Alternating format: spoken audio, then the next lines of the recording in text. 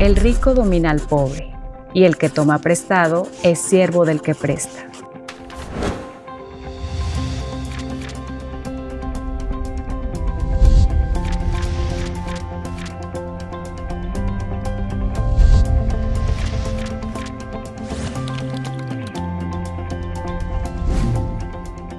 Amigos, qué gusto volver a encontrarnos en nuestro programa Escuela Sabática Universitaria. Estoy aquí con un grupo selecto de estudiantes de la Facultad de Ciencias Empresariales y Jurídicas y queremos tomarnos un tiempo para ver lo que la Biblia nos enseña acerca de la administración. Hoy abordando el tema específico de cómo afrontar las deudas. Para iniciar, quisiéramos que se presentaran, nos dijeran su nombre, que estudian y de dónde son originarios para que nuestros televidentes puedan también identificarlos. Adelante.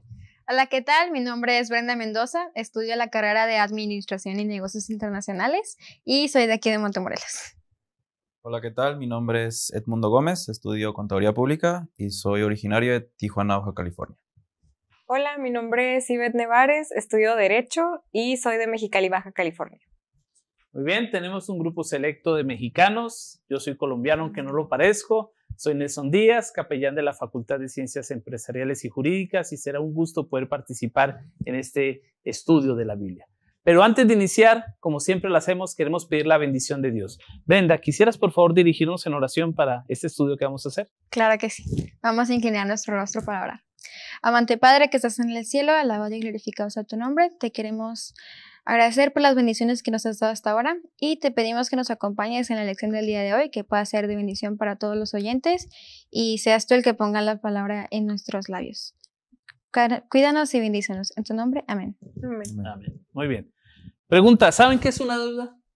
Sí, que nos Yo creo que aquí todos nos hemos enterado una vez, ¿no? Que sea con un amigo, quizás ustedes no han pedido para un carro, asumo, ni por una casa, pero sí, hey, ¿sabes qué? Préstame 20 pesos para el pan, ¿sí o no? Entonces, todos sabemos que es una deuda, ¿no? Sí. Entonces, en ese entendido, es que estamos tratando durante esta semana, lo que hemos estudiado, entender un poquito de cómo hacer frente a esas deudas, porque quizás ustedes como estudiantes empiezan con deudas pequeñas, ¿no? Pero conforme vamos creciendo, adquirimos responsabilidades y esas deudas pueden crecer.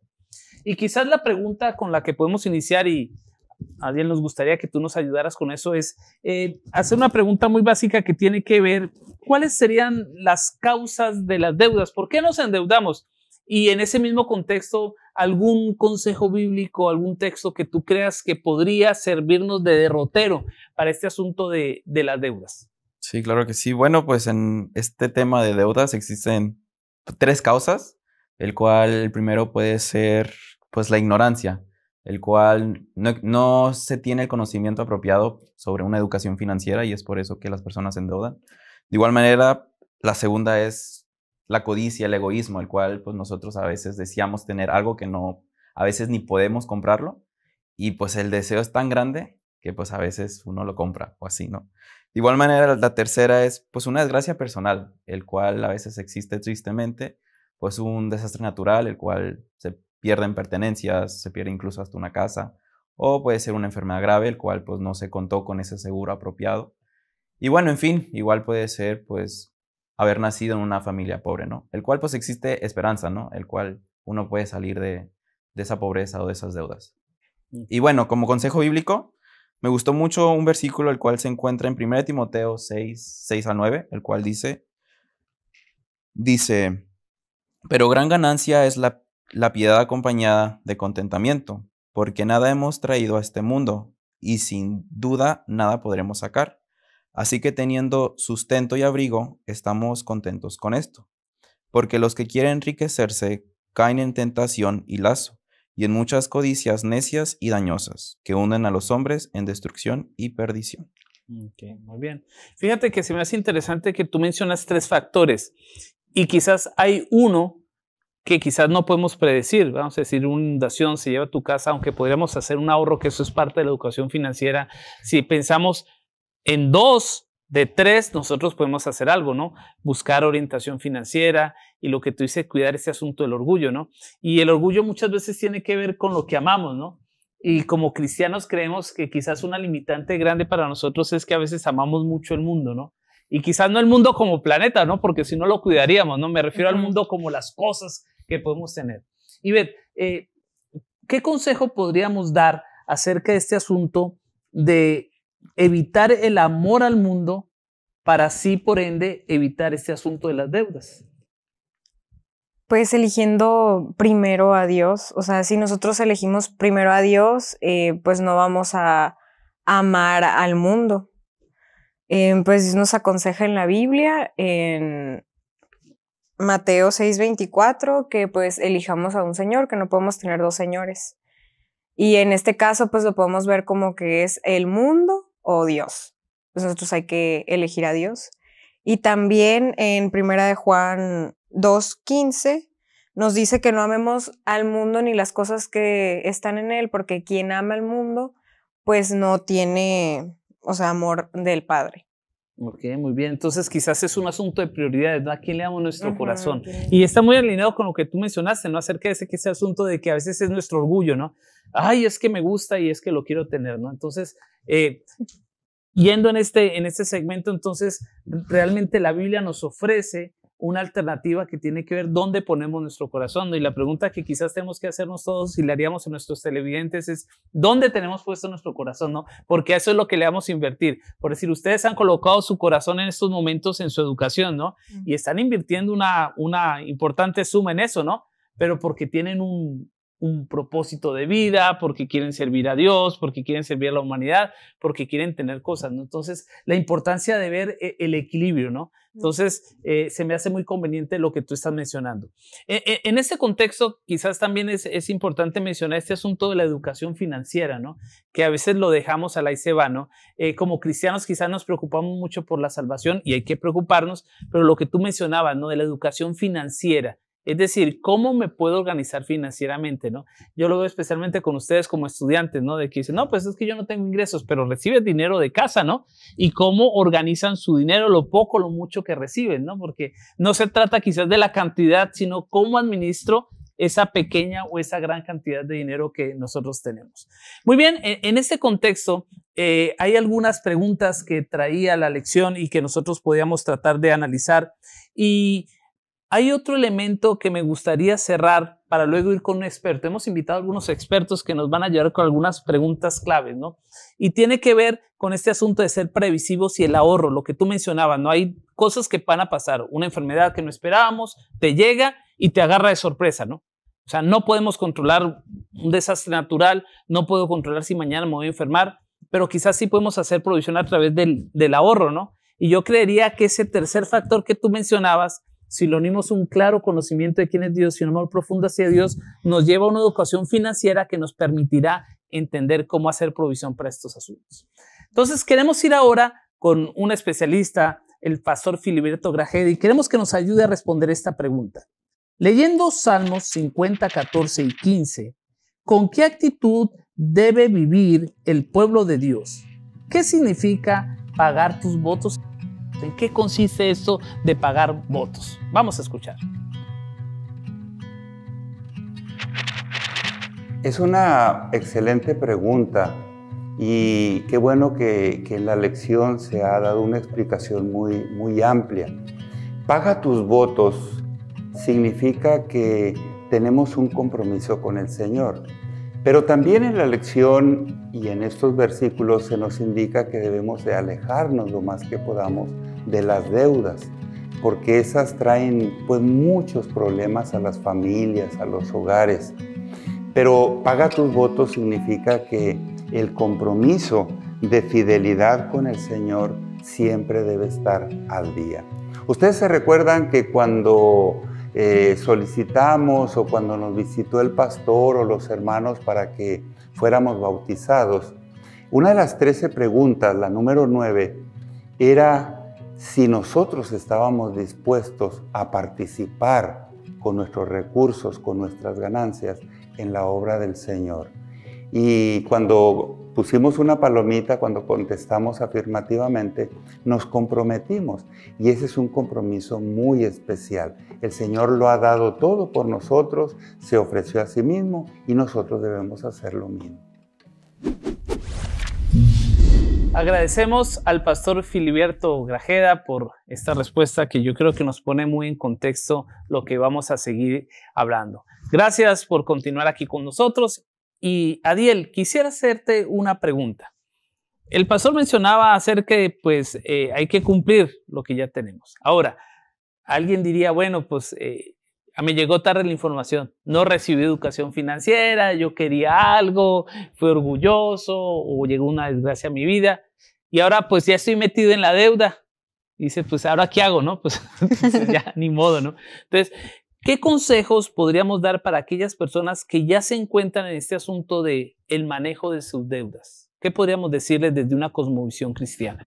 Claro, pues la verdad es algo muy sencillo. El cual aquí pues nos indica que partamos por una premisa, el cual pues es un compromiso que uno hace ante Dios de poderle devolver esa parte que le pertenece, el cual es el diezmo. Y de ahí pues nosotros pues tenemos, alcanzamos esa sabiduría, ¿no? Ante esa premisa. De ahí pues son tres pasos muy sencillos igualmente, el cual el primero pues es hacer un prorrateo de un plazo que uno establece para poder pagar esa deuda, ¿no? De ahí pues ya incluye el no volverse a endeudarse nunca más, el no pedir prestado, nada de eso para pues ir pagando, ¿no? Lo que uno puede. De ahí el segundo paso es hacer un pacto con Dios. Y de ahí pues hacerle saber que uno está pagando sus deudas y de esa forma pues Dios va a ayudarle a que esa deuda pues vaya disminuyendo, ¿no? Con mayor facilidad. Y la tercera pues es lo práctico, el cual se nos dice que hagamos una lista, el cual pongámonos todas nuestras deudas de mayor a menor y de ahí pues nosotros ir pagando de la, de la mayor a la menor y pues de ahí al tener esa práctica pues uno va sabiendo cuáles son las que ya se están eliminando y así pues que la deuda se salde. Muy bien, quiero retomar lo que mencionaste al principio, ¿no? A veces eh, cuando tenemos un problema en cualquier ámbito de la vida y somos cristianos, muchas veces los, los cristianos perdón, sacrificamos primero a Dios, ¿no? Eh, yo creo que les ha pasado a ustedes, nos llega la época de exámenes y el primero que sufre es su devoción personal porque tengo que hacer tareas y olvidamos a Dios, ¿no? Y tú mencionabas algo muy importante y que quiero recapitularlo y mencionarlo para que nuestros amigos lo tengan claro y es tu premisa, la premisa que mencionaste que es una premisa bíblica, ¿no? No dejemos de cumplir nuestro compromiso con Dios. Es decir, eh, quizás puede parecer ilógico desde la cosmovisión humana que si yo le pago el diezmo a Dios, tú estamos hablando fuera de cámaras acerca de esto, si le pago a Dios, pues no va a tener para cubrir mis deudas, ¿no? Pero si yo soy fiel a Dios, Dios tiene caminos impresionantes, ¿no? Que nos pueden ayudar a, resolver esas deudas. Y se me hace muy valioso lo que tú dices y quizás lo vuelvo a mencionar para que a nuestros amigos les quede bien claro y a nosotros también la importancia de, evitar salir de una deuda y meterme en otra, ¿no? Es decir, haz una lista y aplícate. Yo creo que ese es un asunto, yo lo resumiría y tú me dices si estoy bien, es un asunto de disciplina, ¿no? De, disciplinarme, tener un plan claro. Hablaste de, al principio de educación financiera. Bueno, si ya estás en deudas porque no tienes la educación financiera, pues esto, pues cuídate ahora entonces de asegurarte de que eres disciplinado. Ahora, les voy a hacer una pregunta y quiero que la piensen y me contesten así de manera rápida. Eh, ¿Han escuchado ustedes así de ofertas de que, ah, tú inviertes tanto y vas a ganar tanto y en tanto tiempo te vas a volver millonario? ¿Han escuchado? Sí. ¿Cuál es su percepción de estas cosas? Cuando las ven, ¿le creen, no le creen o piensan que está bien o está mal o qué piensan? Pues yo siento que es tentador, la verdad, porque quien no quiere pues tener ese ingreso fácil, ¿no? Pero la verdad, pues a veces lo fácil sale caro, ¿no? Así que pues no. Yo no le creo, pienso que es fraude. Ok, tú, y que es mentirle a la gente. de derecho y entonces estoy diciendo eso es fraude y legalmente no va. Muy bien. Sí, es que podría ser información falsa entonces. También depende mucho de dónde estamos consiguiendo esa información, porque no todo lo que se publica en internet es real, como dice este Ivette, ¿no? Pues podría ser un fraude, entonces tenemos que ser conscientes de que alguna gente que sí lo hace, pues o sea, sé consciente de que no necesariamente vas a, va a terminar bien porque no conoces bien cómo surgió todo eso. También que el dinero fácil pues no es, o sea, no no, es bueno ni, fácil, o sea, hay algo siempre siempre hay una, siempre una trampita, ¿no? Eh, la letra pequeña, lo íbamos a hablar contigo la letra pequeña, ¿no? Correcto. Muy bien. Sí, les pregunto eso porque también lo estuvimos sesión de esta semana, ¿no? Y, es un riesgo, ¿no? Digamos, esté endeudado y me dicen, no, invierte tanto en esto y vas a ganar miles y miles de pesos o de dólares. Y entonces dicen, no, pues si junto esta lana, pues pago todas mis deudas, ¿no? Y quizás nos estamos metiendo en un problema, ¿no? Entonces, también reconocer que es un principio bíblico el, el asunto del dinero bien adquirido, ¿no? Que los caminos cortos normalmente nos llevan a situaciones difíciles, ¿no? No, Sí, no sé si sí. conozcan a personas que se han metido en problemas financieros por esta situación. Sí, Yo conocí una persona que te metió un asunto esto que le llaman piramidal, ¿no? Mm. Y después terminó bien endeudado y con un problema legal porque la gente que estaba abajo de ella pues le empezó a reclamar, ¿no? Entonces, eh, la honestidad, ¿no? Entonces, eh, creo que eso también aplica dentro de lo que estamos mencionando, ¿no? Es eh, evitar las, las salidas fáciles, ¿no? Y también esos préstamos que a veces suelen parecer muy, muy, muy, muy buenos, ¿no? Que dicen, hombre, te prestamos en cinco minutos. ¿Les han ofrecido ustedes un préstamo así? ¿No? No. La- Ok, cuando se los ofrezcan no los aceptan. de que te dicen, oye, en cinco minutos aprobamos y... Pero siempre hay una, una implicación que nos puede llevar a, que, a, una, a una deuda, a una deuda mayor, ¿no? Entonces, eh, retomando tu respuesta y, y volviendo a este asunto, la importancia de, de nuestra fidelidad a Dios y también el asunto de, de la organización financiera. Eh, ¿Ustedes tienen alguna manera en que se organizan financieramente? ¿Tienen algún programita financiero para el manejo de sus recursos en el semestre? Sí o no, no, no me lo expliquen aquí porque quizás... Sí, algo así. ¿Y Sí, sienten que les funciona? Cuando lo cumplo, sí. Ajá, igual a mí, sí, igual que Brenda. ¿Y sienten que han crecido en este proceso al estudiar la Biblia, al crecer como profesionistas cristianos? ¿Sienten que ese proceso de organizarse financieramente les ha ayudado a ser mejores administradores? Sí, inclusive con las clases, ¿no? Por ejemplo, yo que tengo en clases de administración, siento que poco a poco voy mejorando ese aspecto que antes no tenía como que bien definido. Entonces, siento que sí va mejorando con el tiempo por medio de las experiencias. Ok, Entonces, tu invitación para todos es que todos estudien administración para que no estén Claro, definitivamente. Pero tú, Iber, el caso tuyo es, es, es que es, es, es derecho, pero también te funciona. Sí. Ujú. Ok. También la clase de mayordomía cristiana esa. Que llevamos aquí en la institución. es Muy que bien. la administración es esencial para Esencial. todo. para todas las áreas. Muy bien. Eh, esto creo que es importante porque es un ejercicio que todos podemos hacer, ¿no? Eh, desde nuestras áreas de conocimiento, ver cómo nos administramos. Vamos a ir con nuestro segundo experto, el pastor Mora, y queremos preguntarle algo al pastor Mora. Hay una cita que se encuentra en Deuteronomios 15, del 1 al 5. Y en base a ese texto queremos preguntarle al pastor, ¿qué requería el Señor de su pueblo según se revela en estos versículos? Repito la pregunta. ¿Qué requería el Señor de su pueblo según se revela en estos versículos? Este texto es fundamental y nos enseña una gran verdad para todos nosotros los creyentes. Y es la siguiente, Dios le está hablando aquí al pueblo de Israel, estaban por ingresar a la tierra prometida. Y Dios les dice, ahora que ustedes van a estar allí en Canaán, cada vez que te presentes ante el altar, tienes que traer una ofrenda. Y la gran verdad aquí encerrada es que el pueblo de Israel nunca iba con las manos vacías a adorar a Dios.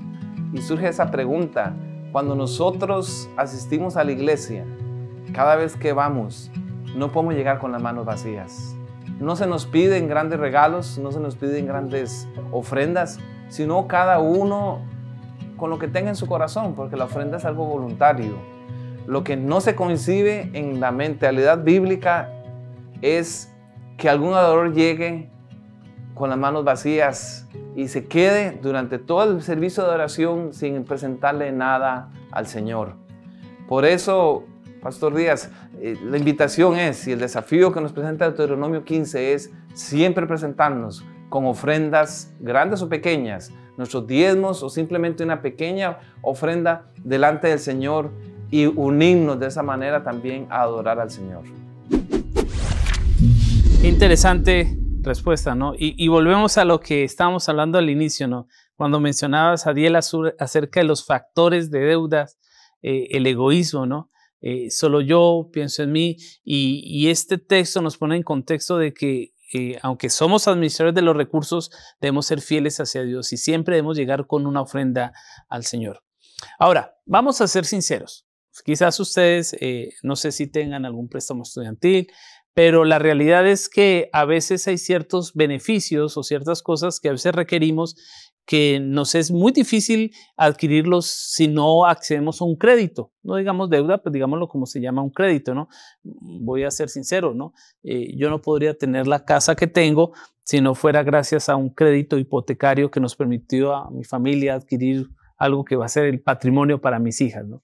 Entonces, eh, Brenda, mm, hay préstamos, hay créditos que pues uno dice, bueno, lo voy a hacer, ¿no? No, no es que te agarró una enfermedad y te tocó meterte como lo que estamos hablando hace rato, sino cómo deberíamos manejar este asunto de los créditos, de los préstamos para eh, hacer uso sabio de los recursos que tenemos y de lo que queremos adquirir. Claro. Bueno, primero que nada, nosotros al, adquirir un crédito pues tenemos que tomar en cuenta que este influye en varios factores, ¿no? Al nosotros pedir un crédito, este, vamos a tener un tiempo determinado para tener que devolver esa cantidad de dinero porque todo lo que pidamos vamos a tener que devolverlo. Entonces, este, hablando de consejos, si nosotros pedimos un crédito, primero que nada, saber que si vas a pedir un crédito, vas a tener que devolverlo tarde o temprano. Entonces tienes que ser consciente de eso y tienes que generar un plan para poder tú generar tus recursos personalmente y poder eh, pues devolverlos, ¿no? A la organización o a quien sea que tú hayas pedido el crédito. También algo importante es, como se mencionaba, lo de las letras chiquitas, ¿no?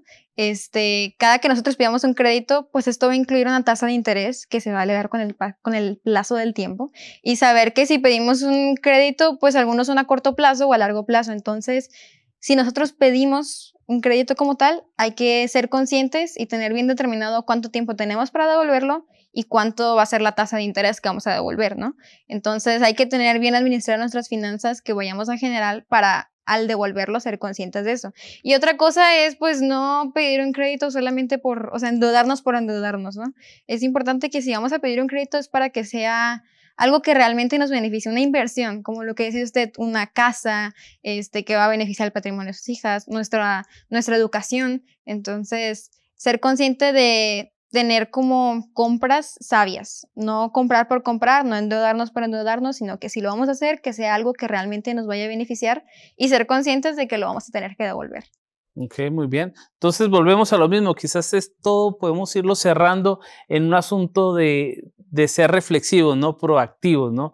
Pensar antes de actuar, hacer un análisis, si ya estás en una deuda, pues hay que respirar profundo porque a veces las deudas nos quitan el sueño y hacer un plan para ver cómo vamos a regresar el dinero, como mencionaba Diel, poner a Dios en primer lugar, como mencionaba Ibed, y entonces organizarnos, ¿no? Y sí, eh, eh, estamos en una sociedad que te hace creer que necesitas todo, ¿no? No, no sé cuál sea su experiencia, pero este uno dice, ay, es que sí lo necesito, pero no lo necesitas porque lo necesitas, sino por la manera en que te lo que, en que te lo presentan, ¿no?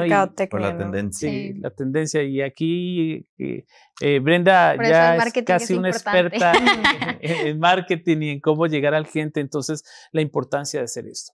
Eh, otro asunto que quiero y que se me hizo muy valioso y que tú mencionaste tiene que ver con conocer el tipo de préstamo, ¿no? Eh, porque a veces decimos, el banco va a decir, no, yo sí te lo presto y te pido una documentación y uno cree que porque el banco te pidió la documentación ellos ya eh, te están dando toda la información, pero yo recuerdo que cuando fuimos a hacer el préstamo en la casa era, eran varias hojas, ¿no? Y, y mucha letrita chiquita que a veces quizás uno tiene la capacidad para leer, pero quizás la orientación sería eh, tener amigos o personas que conozcan este asunto y si yo no tengo la capacidad para entender esa letra pequeña, buscar expertos como lo será Brenda, como lo será Diel, que también va a ser contador, y pedirles a ellos que nos ayuden, ¿no? O sea, en términos prácticos, ¿no? Pedir consejo, ¿no? De los que saben de cómo funciona la banca.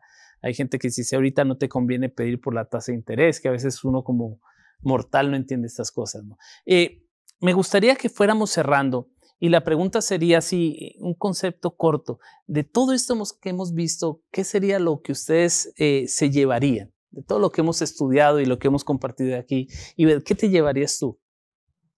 Em, pues yo me llevo las promesas de Dios a nosotros, ¿no? Si aprovechamos sus bendiciones, pues no vamos a tener por qué, o sea, pedir préstamo. Era lo que, lo que estudié, o sea, es lo que más me gustó, es eso. O sea, si nosotros sabemos aprovechar eh, las bendiciones, el tiempo, nuestro trabajo, pues no, nos vamos a ver en esa necesidad tal vez de pedir un préstamo. Confiar en las promesas de Dios y pegarnos Muy bien. Brenda, ¿con qué te quedas tú? Que la administración y la organización de nuestras finanzas es muy importante y la misma Biblia nos lo hace mencionar, ¿no? También, este, igual cuando mencionábamos de Deuteronomio 15, 1 al 5, donde Dios les había dicho lo del tiempo límite de los siete años, que después de siete años el pueblo tenía que perdonar las deudas. O sea, siempre es importante que este, aprendamos a organizarnos en el sentido de que siempre va a haber una fecha límite para todo lo que nosotros pidamos de préstamo. Entonces, pues vaya, Dios siempre se preocupó por eso, fue, que, fue por eso que puso eso de, de la regla, ¿no? De los siete años. Entonces, sí, me quedo con eso de que la administración no solamente para nosotros los administradores, los contadores, así, es para todos. Realmente que es algo que debería estar en nuestro estilo de vida, este, al día a día como tal. Ok. Ariel. Bueno, recalcando algo de que Brenda dijo, pues yo aconsejaría el poder acercarse y tener un conocimiento apropiado sobre la educación financiera, porque realmente, pues esto es muy importante para nuestras vidas, y más uno que es empleado o empieza a tener ingresos, pues tener un presupuesto, ¿no? Y no gastar más de lo que uno no tiene, porque es ahí cuando uno empieza a gastar y empieza a sacar tarjetas de crédito, todo eso, pues uno, pues le gusta, ¿no? El gastar. Y es ahí donde si uno no saca un presupuesto, nada de eso, pues uno gasta a lo tonto y es ahí donde tú dices, wow, gasté más de lo, de lo que son mis ingresos. Y de ahí, pues claro, no dejando la parte cristiana, es pues todos esos ingresos que tú tienes, pues dar el diezmo, ¿no? Porque a veces Dios nos bendice más dando el diezmo que de un salario. Y es ahí donde uno pues se da cuenta que el rendimiento es muy grande, ¿no? Al tú entregar el 10% de lo que le corresponde, ¿no?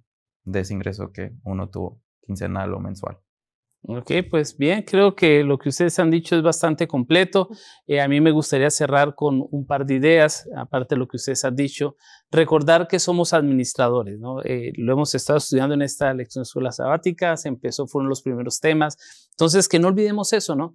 Eh, que somos administradores, la importancia de lo que ustedes dijeron de organizarnos nosotros, pero yo quiero invitar a, a, quien nos observa, a quien nos escucha, a desafiarlo a que también aparte una pequeña parte para el beneficio de los demás. Cuando compartimos las bendiciones, también somos bendecidos. Y quizás de esa manera también nos dejamos de ver a nosotros. Y si aportamos a la necesidad de otros, somos fieles con lo que eh, tenemos que darle a Dios que son los diezmos y las ofrendas. Si administramos bien nuestros recursos, seremos gratamente bendecidos. Así que, amigos, que Dios nos ayude para evitar caer en este estrés de las deudas, que aprendamos a vivir con lo que tenemos y que si tenemos que acceder a un crédito, lo hagamos con una conciencia clara de que ese crédito hay que pagarlo y que lo estamos haciendo con un propósito mayor, un propósito de bienestar para nuestra familia y que también olvidemos que Dios se interesa en nuestras finanzas personales. Que Dios nos bendiga y que podamos seguir creciendo en el conocimiento de su palabra.